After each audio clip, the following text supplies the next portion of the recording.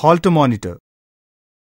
The Holter monitor is recording device that records the electrical impulses of the heart.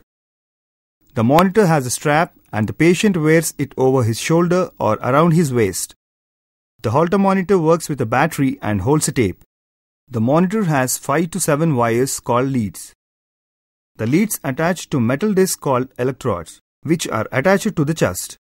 These electrodes are very sensitive and they can pick up the electrical impulses of the heart. Procedure Holter monitor is used for patients who need a full day's monitoring of the heartbeats. The patient can wear it and monitor records and the impulses of the heart. During an ECG, the doctor records the impulses only for the specific period of time and the abnormality may not be recorded during the actual occurrence of the irregular heartbeats. Any abnormality in heartbeat is recorded and is not missed out by the Holter monitor.